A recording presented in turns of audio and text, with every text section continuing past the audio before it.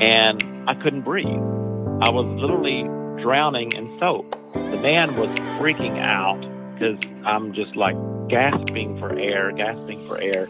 Well, so Mark, let me let me ask you, since the audience may be wondering, and it's a really important question. Did you die? yes, I did. And now I'm back to haunt you for the rest of your life. Fuck!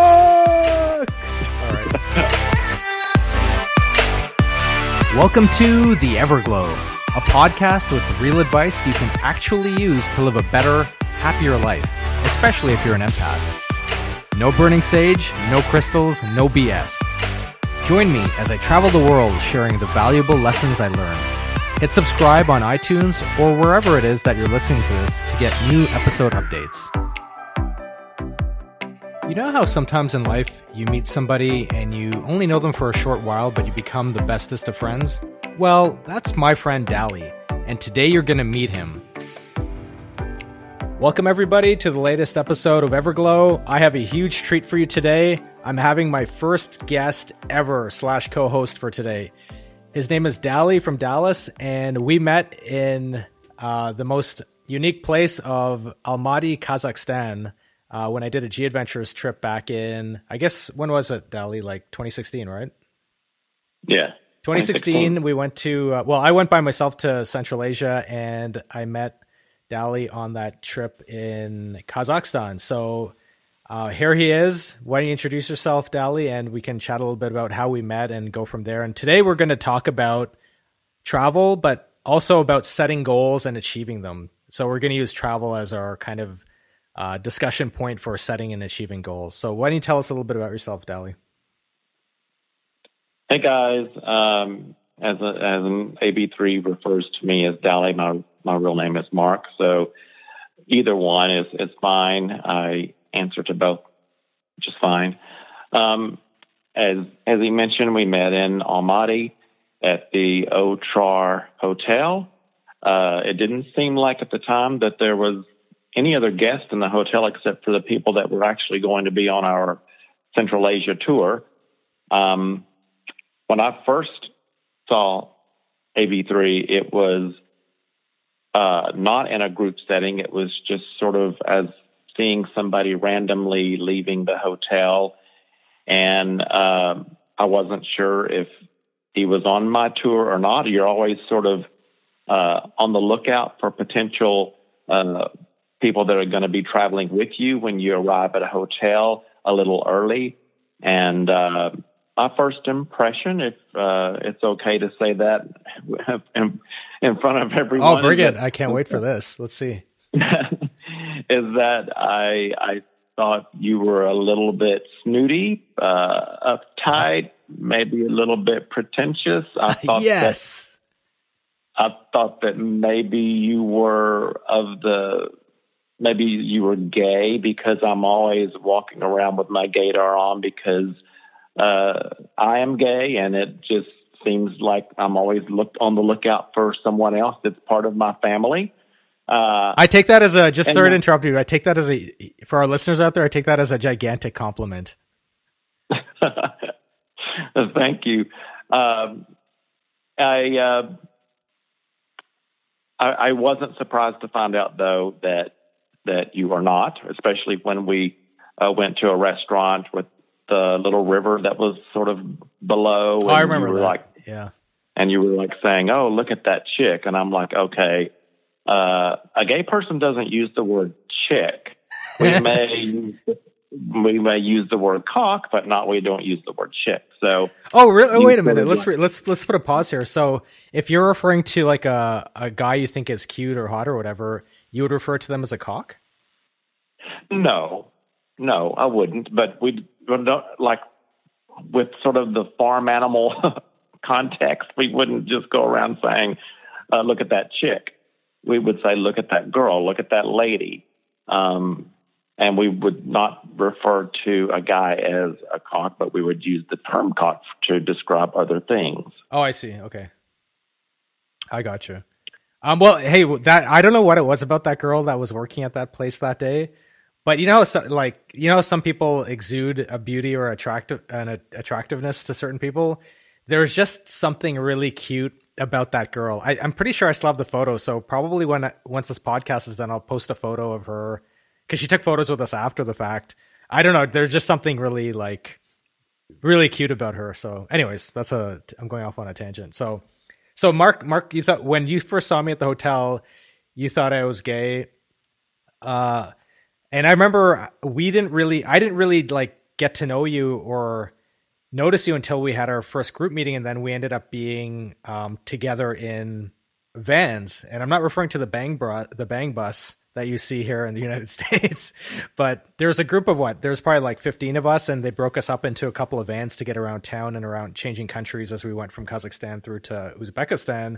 And Dally and I were in one of the same vans, and um, you know that's where the chatting started. But there's a song that actually got us talking first, right? Because you're usually sitting at the front of the van, and in typical me fashion, I was sitting at the back of the van.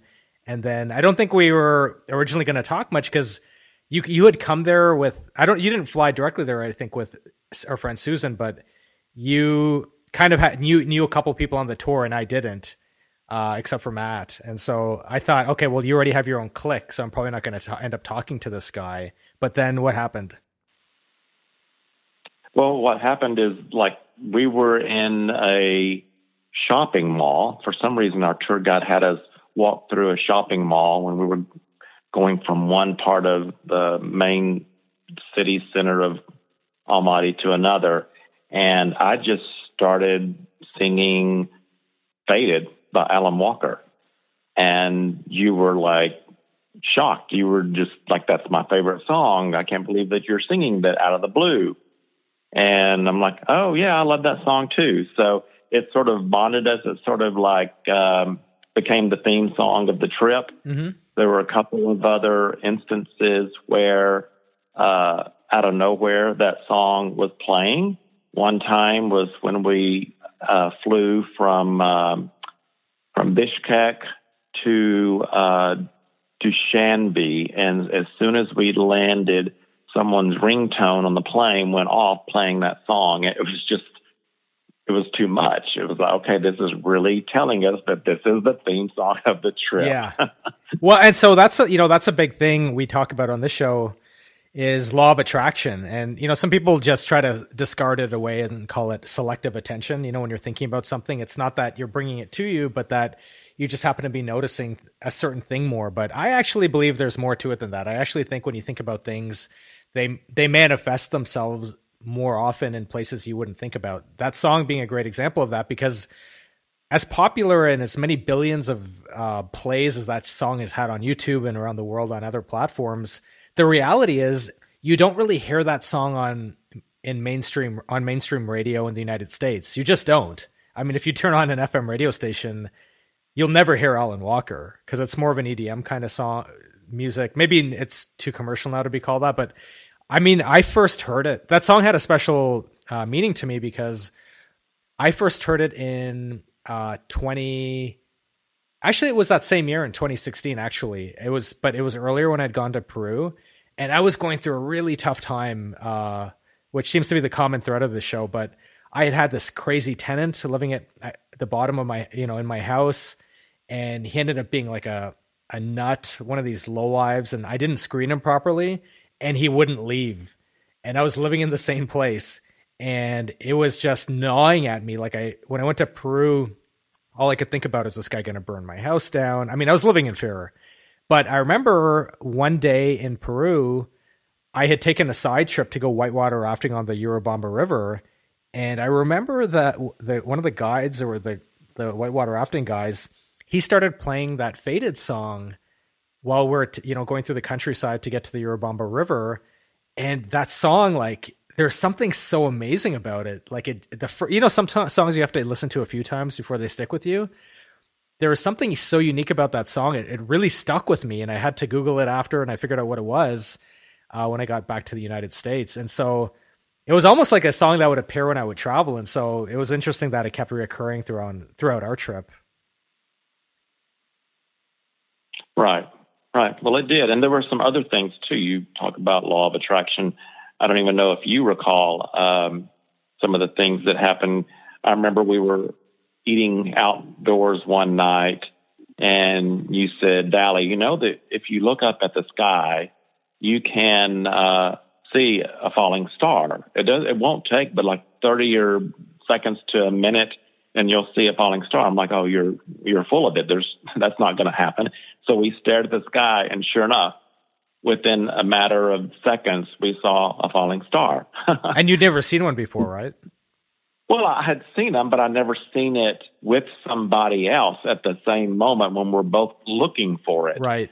So that's what was so, uh, you know, it was really a nice touch to our sort of blossoming friendship. And uh, it was sort of confirmation, too, that this is a friendship maybe worth pursuing. You look for little signs when you're meeting someone, whether it's, um, you know, platonic or something more just to make sure that you're on the right track. And uh, when nature tells you that everything's good, it, it's very reassuring. Um, and then there was the other thing with um, you had mentioned another song about I forget who it was, maybe Tiesto and you Shimmer.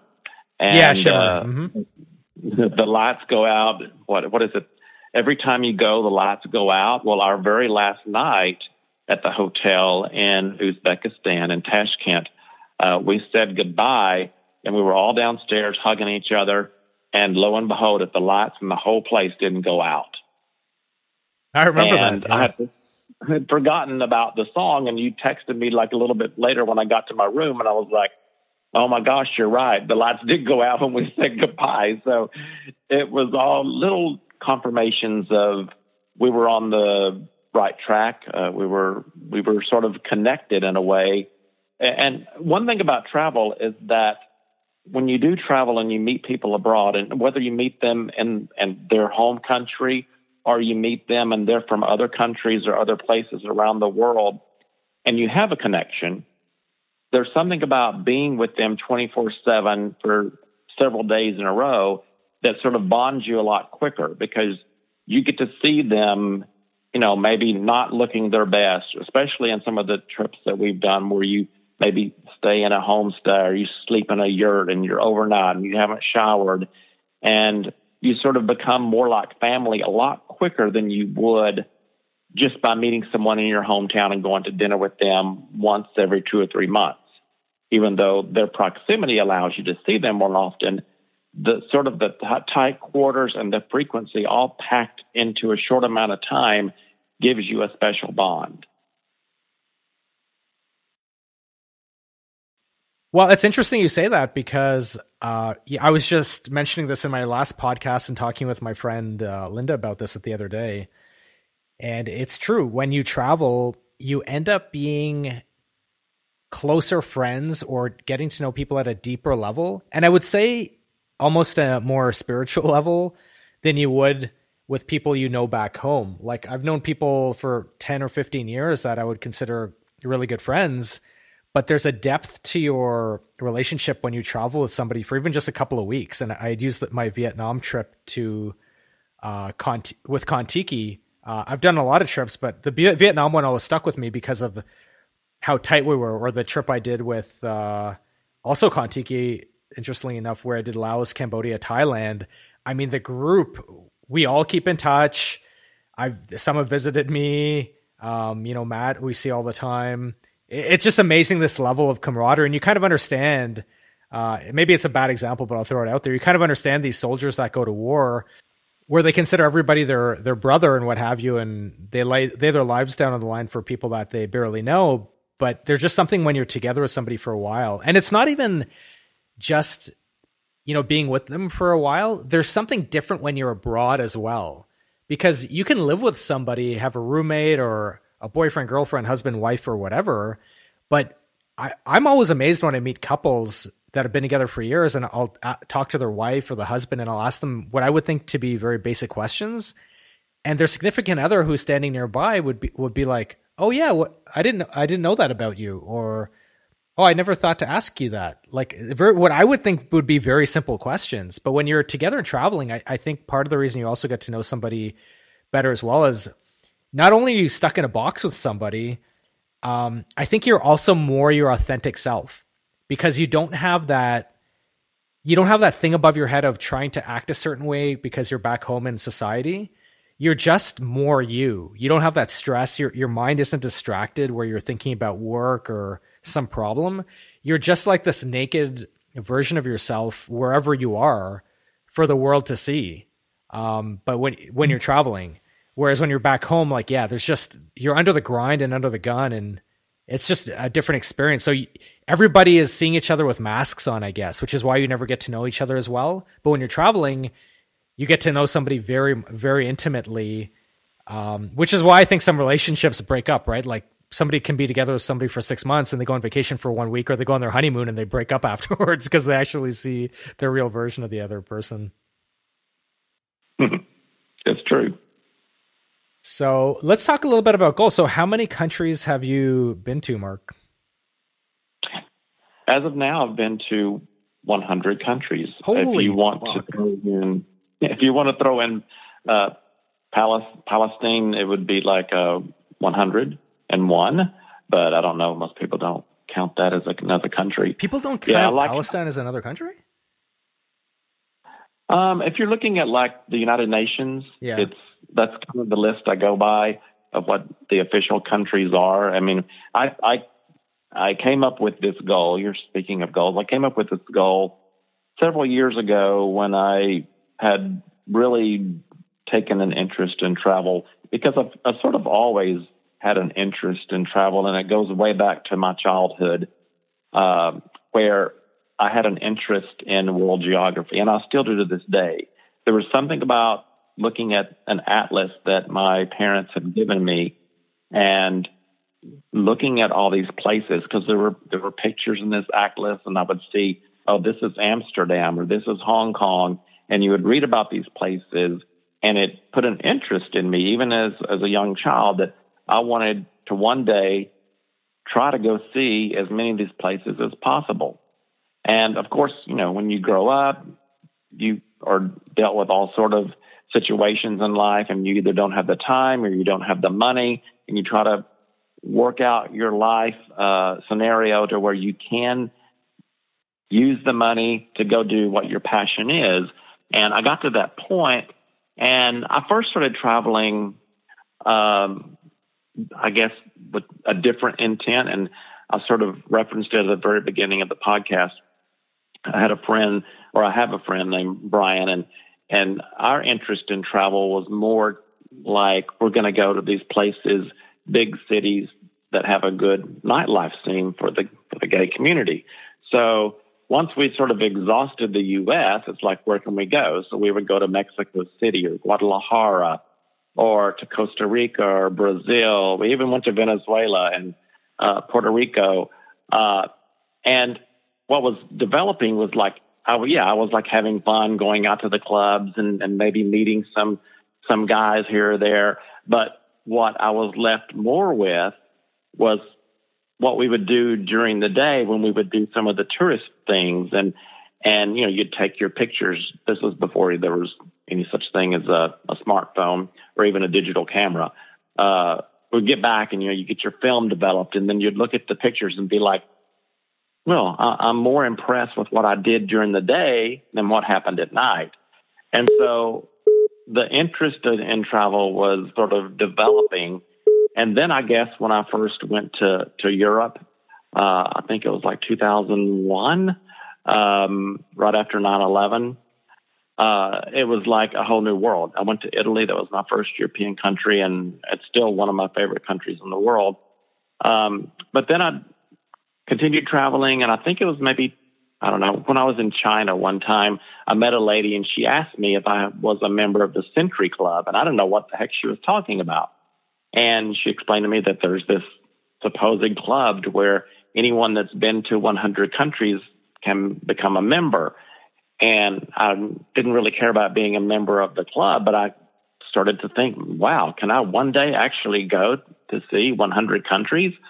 And uh, sure enough, this last November, uh, I went to Israel, and it was my 100, 100th country. So um, that, I guess that was a goal that I, I laid out for myself, and I, I, I made it. So it was quite fun doing it too. now, so when you when you book your trips, do you actually contemplate in your mind, um, is or is it a consideration that you're trying to add to that that list of to get to 100, or when you were trying to reach that list of 100, or do you just book a place based on where you feel like going, and then if it happens to add to that 100, so be it.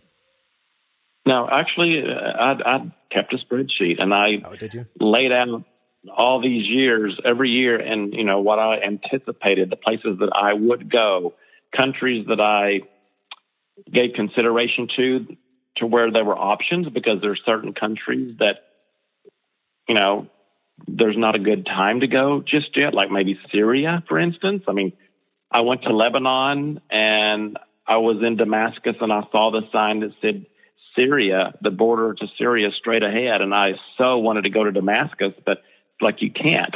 So Syria would not be on my list of countries to go visit.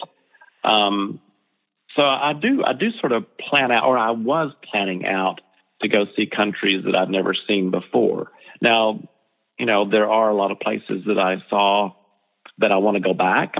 Um, I want to see some countries more than what I have seen, you know, thus far. I mean, you, there might have been a place that I was only there for like a night and I want to see more. So there are those countries like that. There's other countries that I feel like I've seen pretty much everything and I don't have a need to go back. And then there's places that I really, really enjoyed and I want to go back many times. Mm-hmm. So, um, you know, it, it's just, it depends. Um, you know, this year might not work out uh, just because of what's going on with, with travel and the virus. And so, um, you know, I had planned on going to the Seychelles and the Madagascar, but I don't know if that's going to come to fruition or not. I do have a, a, a trip booked for next year to Japan. Strangely enough, I have not been to Japan. It's not one of the 100 countries. And another country that I haven't been to in Europe uh, is Germany. And I mean, most people would think, how can you go to 100 countries and not see Germany? Well, it's because I've been to Bosnia, I've been to Moldova, I've been to every other country just about in Europe. Yeah, Germany's somehow, interesting because uh, when I went there yeah, a few years ago, I actually had no interest in going to Germany. Um, probably part of it because you know the whole World War II thing and me not being white. I I, I guess I have this ingrained perception that perhaps Germany is a bit of a a racist country, and I say that maybe that they're more nationalistic than anything because when I was doing my undergrad, I had a group of uh, my friends that did their year abroad in Germany, and even my friends that were white with blonde hair and blue eyes, even they were kind of like given the stink eye and told off by older people there, telling them to go back home. So I was like, "Fuck." I wonder what they tell me if I went there, right? So, what? But what was interesting is when I went to, I did a tour of uh, Europe a few years ago, and I went to I think eight or nine countries. Believe it or not, Germany shockingly to me ended up being I think my favorite country, which really surprised the hell out of me because I didn't even care to go there. Um, and was you know of course that's why it's good to travel because you dispel all these myths in your head about how places are because I mean it totally wasn't you know racist. People are super nice, super friendly. I really enjoyed my time there. It's interesting. Yeah, I mean, I haven't. I just haven't been. It's it's been one of those things where uh, like if I was to do a tour of Europe, which um, I have done tours of Europe, I think it's much, it's very easy to go to Europe on your own and do your own thing.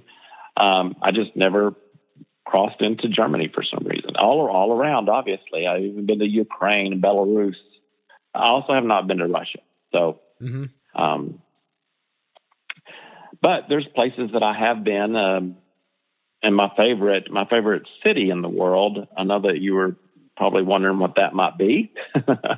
it is Istanbul, Turkey. I I love that city. There's something about the contrast of east and west, rich and poor, uh, worldly and secular, that gives such a pull on your senses. Um, there's a lot of unique things to see there that you really don't see anywhere else. They they have uh, the whirling dervishes that they're favorite they're famous for. Um, obviously, the Blue Mosque in Hagia Sophia, uh, the underground cistern, Topkapi Palace. I really say that if anybody hasn't been to Istanbul, to go give it a try because there's so much to see and there's so much to do that's pretty unique. I mean, you won't find the same things to see and do in a lot of places. Plus, you're in a nice city. You have the comforts of nice hotels, great restaurants, great shopping. It's, you know, I, I don't know if they, how they consider the most uh, populated cities in Europe, but I would say that uh, it probably is the most populated city in, Europe. So, well, let, us uh, let's shift gears and start talking about the fun stuff so we can get some ratings on the show. Um, one of them being, you know, since you're talking about Turkey, why don't you tell us? Uh, and I'll sh- probably I'll try to share one of my interesting stories, legal ones anyway. Um, why don't you tell us about one of the interesting, or one of the, how about this? What's one of the scariest things that's ever happened to you when you're traveling? Because you brought up Turkey, and I, I remember you telling me about your brush with death, and I, I think that was Turkey, if I'm not mistaken. Was it? Yeah, I've I've had a couple of brushes with what I what I consider it was like a near. It could have been a death experience. Um, the first time I was in Istanbul, I went to the hammam or to the bathhouse, and so what exactly is was, a bathhouse? Just for those of uh, people listening that isn't aren't sure what that is. Um, it, you know the the old ways of doing a bath. I mean, it's the, sort of like the Roman way, and uh, it, it's this big, uh, this complex. It's sort of like dome shaped, and they have a hole in the ceiling so that the steam that's there inside can escape. But there are these marble uh, slats and platforms that people lay on, and they sweat profusely, so you get all of your impurities out of your body. And then I don't know how it is in, in the women's section, but in the men's section, you know, you've been laying there for like 30, 40 minutes, and then some big, burly, hairy Turkish guy comes up and starts to bathe you. I mean, literally, they have the soap and the water, and they are scrubbing every part of your body. And when you're finally done and rinsed off and, and relax and then leave the facility, you've felt like you've never been cleaner before in your entire life. So the first time that I was uh, in Istanbul, I went to this hammam or, or a bathhouse. They call it hammam in Turkish. Um, I had a, an amazing experience. And so the second time I went back, I had actually go find that same hammam and go back to, and I did. And I had rested, sweated out, and then I saw the guy and he had his big bucket of soapy water. And I mean, the soap is about, I don't know, two feet high in the bucket. So there's like, it's just you're just going to be drenched with soap. And so when he approached me, um, I somehow I took a huge deep breath, but he had already started to pour the soap on me, and all of this soap got into my lungs, and I couldn't breathe. I was literally drowning in soap, and my first instinct is to stand up and to try to get out of there to get some air because it's it's very steamy, it's very humid. You can you're already breathing deeply. Well, I'm breathing deeply and I'm just getting soap, and I immediately fall to the floor because my whole body is slippery and it's on marble. So I mean, it's a wonder I didn't crack my tailbone or hit my head. And the man was freaking out because I'm just like gasping for air, gasping for air and he's trying to give me water. Well, I can't drink because I can't get anything down me. And uh, eventually, I calmed down. I guess the soap disintegrated in my body and inside of my body, and I was able to drink some water. But I tell you, my throat burned for the next two days because of that. But I was very fortunate that something bad didn't happen. Um, well, so Mark, so let me let me ask you, since the audience may be wondering, and it's a really important question. Did you die? yes, I did. And now I'm back to haunt you for the rest of your life. Fuck! All right.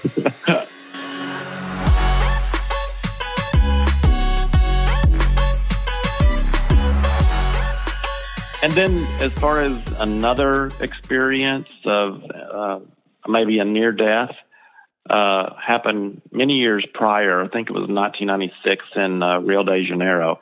And if your listeners probably hear me say Rio, they know yeah. they know where I'm they know where I'm going with. I almost got killed a few times in Rio, so I'll probably share some stories after yours. But yeah, yeah. you expect to die if you go to Rio. as much as beautiful yeah, as the city is. Yeah, I mean, it, Rio is one of the most be- naturally beautiful cities in the entire world.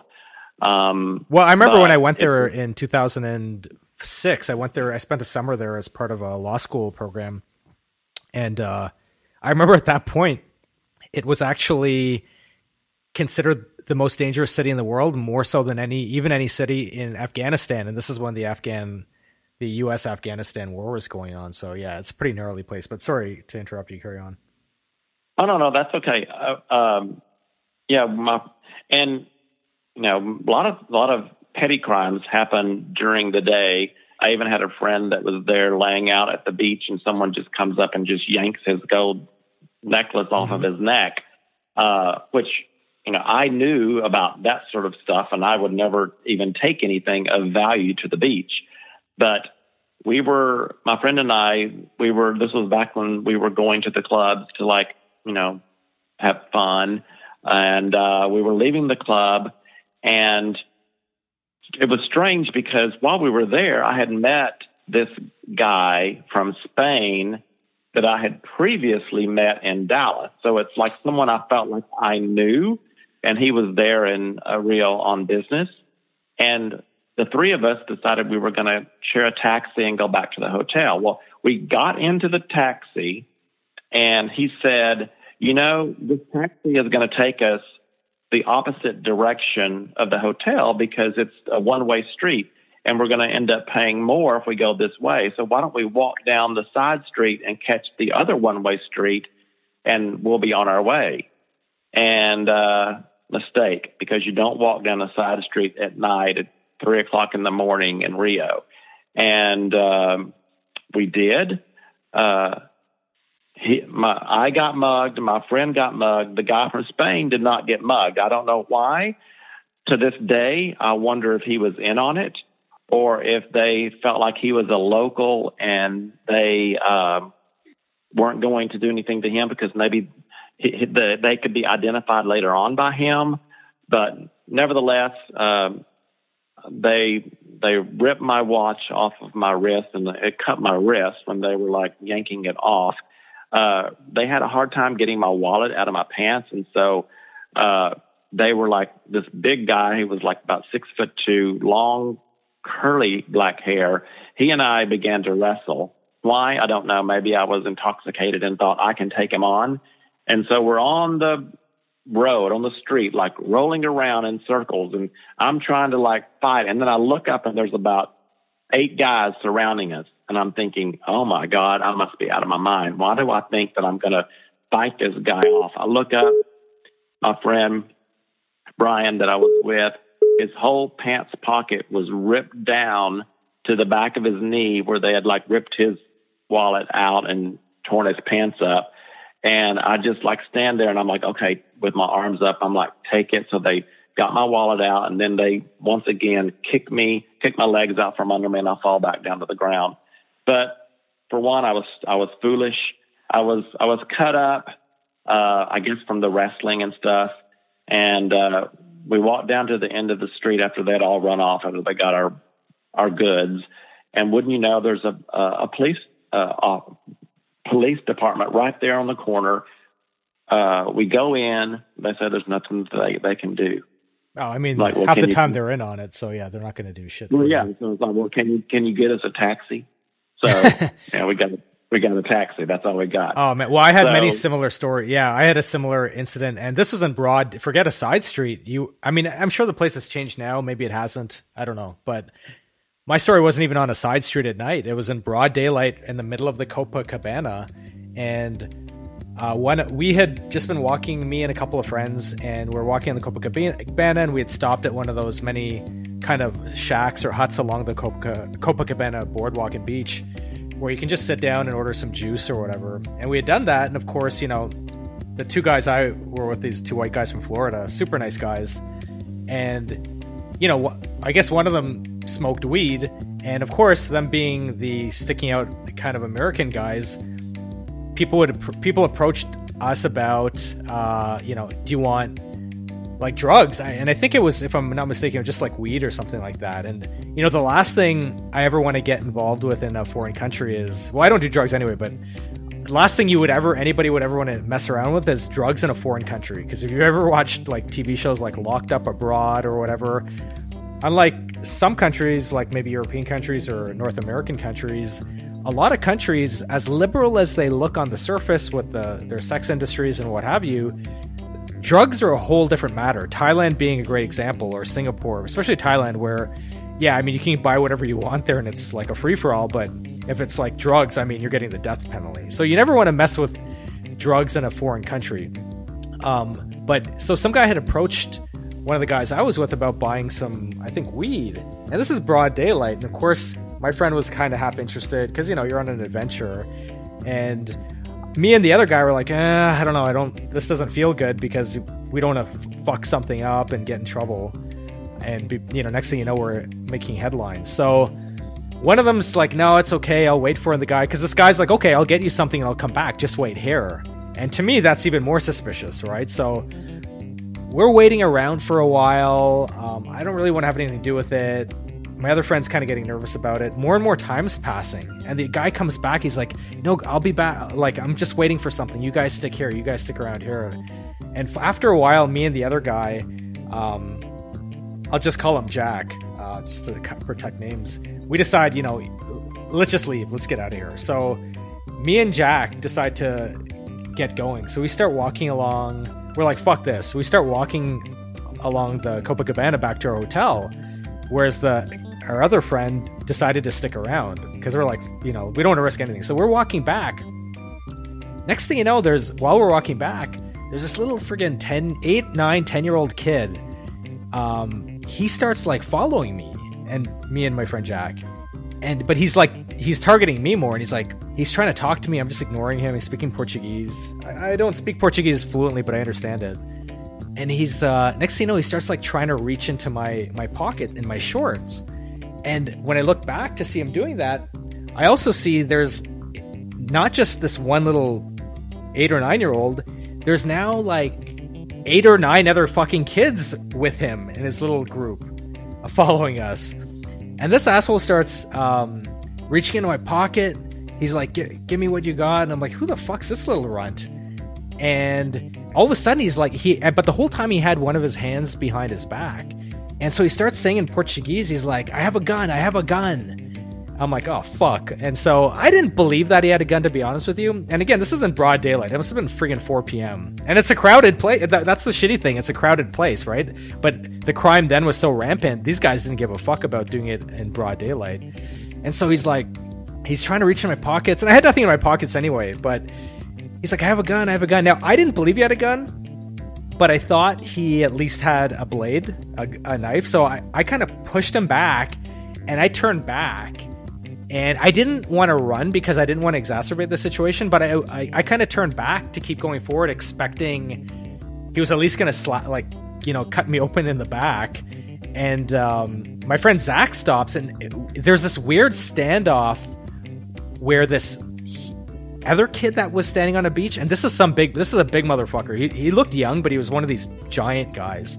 This giant gets up from a bench, one of these concrete benches, and he looks at us and so you have this face off between me jack and this group of now like nine or ten kids and this giant and it's one of these incidents where shit's either gonna get really really bad right now where we're gonna get swarmed and have our fucking heads kicked in or everybody's just gonna go their separate way. And so for the, there's a standoff for about five seconds where it's like they're trying to make a decision whether they should pursue this further and we're just kind of looking at them and then Zach kind of, or Jack kind of makes a, a head movement, and like it's like let's just let this thing go, and we both, me and Jack keep walking, and they just kind of look at each other, and they just say fuck it, and they decide to you know go back to their part of the Copacabana.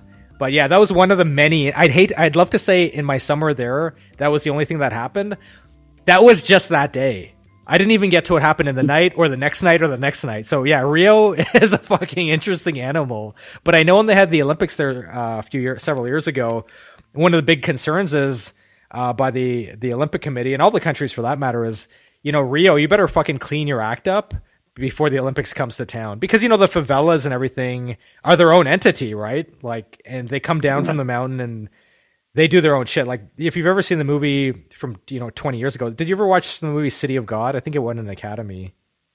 Yeah, I did. Yeah, I did that, that. that there's really nothing that's scripted about that movie. Frankly, I mean that's just real life. I mean, I'm sure the movie is scripted, but that's actually real life. There wasn't. You didn't need to dramatize anything because if I, I'll tell you more stories about people. I had friends get picked up by the cops, where the cops basically kept them in the cop car and literally had them drive drive from ATM to ATM machine, um, so they could just drain their bank accounts from back home. But yeah, Br- Brazil's an interesting animal. Yeah, Brazil and, and several places on the planet are are unique experiences, but I wouldn't let any of these stories that we just shared deter anybody from wanting to venture out and, and go see these places. Just take an element of precaution with you and you'll be just fine. Yeah, absolutely. And I think to me, it's that adventure that's the exciting part of traveling. You know, there there are different types of trips. There's what I call a vacation, where you go to an all inclusive in Cancun and do nothing, and then there's a trip. And I try to go on trips sometimes where you know you kind of want some action to happen. And so, you know, for example, I went to North Korea last year, and everybody's like, "Oh my God, you're crazy! This could happen, that could happen." I'm like, "Well, yeah, it could have, but that's part of the fun." So you know, you got to have some excitement in your life. And yeah, these like like we said earlier during our Brazil discussion, Brazil actually, in my opinion, is the most beautiful, aesthetically beautiful country I've ever seen, especially Rio. Um, so don't let these things stop you from going. So with that, uh, why don't we change gears for a moment and let's talk about excitement since we're, you know, I'm mentioning it here. And so, Mark, why don't you tell us a little bit about what the most exciting thing you've done on a trip is. Now, exciting things can happen to us or we can get get them or get into them proactively, whether it's sexual or gastronomically speaking. Uh, because you know, a trip is a way to let loose. And so tell us a little bit about first of all what country you were in and what that exciting thing was. Okay, sure. Um, for me, I'm not really much of an adventure seeker. But this one thing that I really wanted to do, I was on a tour with Gate One and I ended up in the country of Zimbabwe in Africa, right at Victoria Falls. Excellent. Okay. I've heard a lot about Victoria Falls. I know it's increasing uh, as a, a, tourist destination. So, why did you go to Africa in the first place? Oh, well, I mean, Africa is sort of like that place that um, you want to go, you want to see nature, you want to see animals, you want to be outside of your comfort zone. Even when you go to Europe and uh, Australia, even parts of Asia, uh, it's it's very organized. It's very easy. And Africa, it, it puts you sort of out of, out of your element and opens up, you know, a wide array of possibilities. And the one thing that I wanted to do there was uh, cross Victoria, cross the Zambezi River, go into Zambia, and take a microlight flight over the falls. Okay, very cool. So I'm familiar with what a microlight flight is now because you've talked to me about it in the past. But tell us what turned you on to doing a microlight flight, and more importantly, for those of our listeners that don't know what it is, what the hell is a microlight flight? oh, uh, what turned me on to doing this was I saw a friend post on Facebook several years prior that she had done this when she was uh, in the same countries. And it's someone that I admire quite a bit. She's traveled even more uh, frequently and broadly than I have. And so I knew that I want, when I went to these countries, I wanted to, to do the exact same thing. And what it is, is it's like you're in a go kart flying in the air and with these big uh, wings and fortunately, attached to the wing is a, a camera, and they take pictures or videos of you that you pay for in advance. So, that being said, you're about a mile off the ground, and you're seeing elephants below. You're seeing the the river, the falls. It, it's quite an experience. Okay, so uh, tell us a bit more. So, first of all, just so people can gauge how it works, how much does something like that cost? Um, I think it was around $150. And you think about it, $150 to spend for a once in a lifetime experience, I think it's well worth it. uh, the thing is, you have to leave everything behind. I mean, I left my my wallet, my uh, passport, everything that was of any kind of personal value to me was left behind because you couldn't as much take as a piece of tissue in your pocket when you were on the flight because the propeller is behind you. And if anything was, you know, were to blow out, it's going to blow right into the propeller. So you had to, you had nothing with you. So if you crashed, nobody would really know except people back in the office and their, your money would be theirs. well, and I imagine weight is also a major factor. So what we'll do for their, the audience is after I post this podcast, I'm going to post some of the pictures, uh, with your permission, of course, Dally, of your flight because those are some of the most spectacular photos I've ever seen. And it'll, for those of you that are still trying to struggle with what the hell's a microlight flight, if you don't feel like Googling it, we'll show some pictures of uh, Mark actually doing it. And so you're up in the air, just you and one other guy in what looks like a motorized hang glider in essence, right? Correct. And and the the pilot that I had was absolutely fantastic. Um, you know, you get off the ground and, and your your body is telling you you shouldn't be doing this, that you're going to fall out, that gravity is going to take over. That this guy, he was from, he was of German descent, and he was had the most calming voice. He put me at ease, put me at rest, and even got me so comfortable that midway through the flight, he let me take the reins and, and guide the flight myself, which I was just overwhelmed in doing something like that. And so, do you recall how high up you were at the at the height of your your flight? We were about a mile, a mile or so, mile and a quarter off the ground. So that that's a perfect segue. Uh, since you mentioned a German guy and you were a mile in the sky, did you join the Mile High Club at that point? No, unfortunately, I did not. Did you want to? Not in that contraption, no.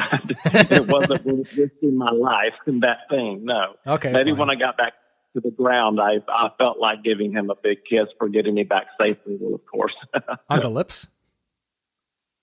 On anything. Really? Damn. Man, those Germans. Uh, okay, well, fascinating. So, yeah, I remember seeing your photographs, and like I said, I'll post them. But yeah, that looked amazing, frankly. I know I use that word a lot, but that that definitely looked exciting. I mean, I thought some of my various zip linings were exciting, and some were because they jerry rigged cables to rocks and shit like that. But yeah, yeah, that thing looked really amazing. I would totally have to do that. And for those of you out there that you know shun doing the occasional side tour when you're on a, a trip somewhere, because maybe you think it costs a little bit more than you plan to spend. These trips are all about spending more than you plan to spend because like when else are you going to get a chance to do certain things? And you know if something costs a few bucks who cares? Like money is one of the most replaceable things you can ever replace in the world frankly right? Like i may not be able to build a toaster oven or repair a car engine but i can make money and so can you. Uh, so don't worry about it because you're really just buying experiences and you're buying uh, education because there's really no greater education than travel and these experiences you go on so thanks for sharing that story with us about that excitement. Uh, we're going to be talking a lot about exciting things that have happened on our trips because, well, we want you to tune in and it's fun talking about them, isn't it?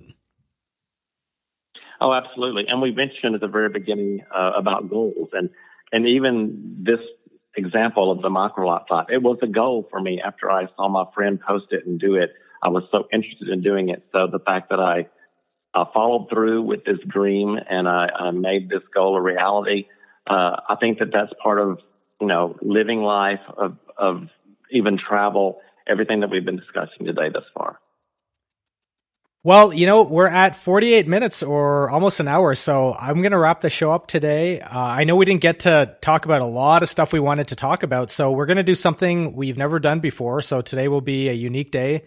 Not only did we have our first guest slash co-host, but we're going to end up doing another couple episodes uh, as Mark and I chat about the different things we've done on our trips. And all of this isn't really to boast or brag. These are just things that are part of our normal life. But we really hope, and I hope I speak for you, Dally, is that uh, we hope that this inspires even one person out there listening to maybe go buy that flight somewhere, maybe go buy that that tour and step out of your comfort zone and try something new. Because once you start doing this stuff, there's really no going back. Unless you're just straight up not cut out for traveling, and that's totally cool too. Uh, but for those of you that have been dreaming about it for a long time, it's not as hard as you think it is once you get going. Um, you just have to jump into the deep end of the pool. And I'm not saying make your first trip to North Korea or an active war zone in Syria, which, uh, believe it or not, something I'm thinking of doing soon. I, I don't know why, but anyways, that may be my next thing. But I'm not saying you have to go balls to the wall like that. Start off small. Uh, even if you want to go to, I don't know, a red state in the United States, or if you just want to go to Mexico or something like that. And, and you know what? Like, with all due respect to the uh, Department of Homeland Security or the State Department, rather, yeah, there, there, are a lot of things up there in the United States saying, oh, don't go to this country, don't go to that country. Like, I remember for the last decade, they were like, the State Department's like, don't go to Mexico. And I'm like, I go to Mexico and the place is totally fine. So don't get, don't look for reasons to be deterred from taking the plunge on a trip look for reasons why you should go and try to ignore a lot of the outside noise. I don't know if there's anything you want to add to that, Dally. I don't know. I just I totally concur. I mean, you you live this life, you develop dreams, you develop goals uh, in in any facet, and you shouldn't let an element of fear creep in if it's something that you really want to do. And if you can do it in the right mind, right place, uh, I'd say go for it. And so I'll, I'll, leave you with this little story I had, uh, or I have. I, I, I haven't told this one to you, Mark. So bear with me. Um, so I was at the AVN Awards a few years ago. For those of you that don't know what that is, those are the that's the big porn convention in Vegas every year. And I was with one of my friends, and I guess he knew this kind of weird guy that worked at Ralph's. And that guy joined us uh, that evening. We were all, you know, he had had a big, he had a big suite at one of the hotels, I think at the Hard Rock, and you know, he, the tons of people there. And so one of these kind of weird friends that he knew that joined us in Las Vegas. I remember his name. His name was Richard, but they called him something more derogatory, which I'm not going to repeat here. And I, am not sure why he put up with it. Uh, but nonetheless, he was fascinated by the fact that my friend and myself had ever left the country. Uh, and I, you know, I got to talking with him that night because I thought it was kind of he was an interesting character anyway. And I was like, "Well, what are you so afraid about going somewhere?" He's like, "Well, I just don't understand. Like, how do you do it?" I'm like, "Well, we buy a plane ticket and we go to the country that we want to go to, like Thailand." And we got to talking about Thailand. He's like, "Yeah, but how do you buy stuff?" I'm like, "Well, you buy stuff with money." He's like, but they take American money there? And I'm like, well, they can, but you can buy it with their own money. He's like, but I don't understand. Where do you, where do you get the money from? Because if I put my wow. ATM card in the ATM machine in Thailand, won't American money come out? And I was like, holy fuck. this poor guy, man. He couldn't even even get over the mental hurdle of how do you pay for things in a foreign country? And I thought a guy like that, maybe he shouldn't travel, at least not to a foreign country, because he would just get taken to the cleaners, get ripped off. Because if you don't even know that you can take out money in a local currency in a foreign country, I mean, yeah, maybe he should just stay in Las Vegas working at Ralph's. But that's why I say jump in maybe into the kiddie pool first, go to another state, then maybe go to Mexico. so if if if shit hits the fan, you can you know quickly come home instead of being stranded. So I thought that was a funny story because I was like, I couldn't believe the misconceptions this poor guy had. You know, even he could go with a friend that would maybe hold his hand and teach him the, the way things go. I mean, you're not going to know everything when you travel. I mean, I remember the first time I, I rode a train in, in Europe. I didn't know what the hell I was doing, but you figure it out. And, you know, I think that maybe someone could help him and even he could go and, and travel if, if he, if he so desired. For sure, you can figure it out, and uh, yeah, like Mark said, a great idea. Go with somebody that's experienced. The only rub to that is seasoned travelers. At least maybe I just speak for myself, but seasoned travelers usually you don't want to travel with like complete novices because they just become a well, you don't enjoy your trip as much. But he could always go with somebody for sure. And hey, set aside a set aside a rip off budget. What's a rip off budget? just expect that you're going to lose money getting ripped off on taxi fares, mm-hmm. restaurants. But that's part of the learning experience. And you know, those are things we'll talk about in the next show. Experiences that we had where where we've been ripped off. I'm sure you have, Mark. Um, oh yeah, I have a little bit. Well, you already talked about when you got jacked in Brazil, so uh, so we'll talk about that. But that's it for today, guys. Thanks for tuning in, Dally. Thanks for joining us from Dallas. I appreciate your time. And uh, how did you enjoy the show today? Oh, it was, it was fun. I enjoyed it. I mean, yeah, let's do this again. Let's do it. So, everybody, don't forget to subscribe and leave five stars. That way, you'll get notified whether you're using iTunes or Google Podcasts or whatever, or Spotify. You'll get notified of the latest episodes as they come out. And if you have any questions, hey, just shoot us an email or you know leave a message for us, and we'll ha- be happy to answer any of your questions. So, thanks for tuning in, and we'll see you on the next show.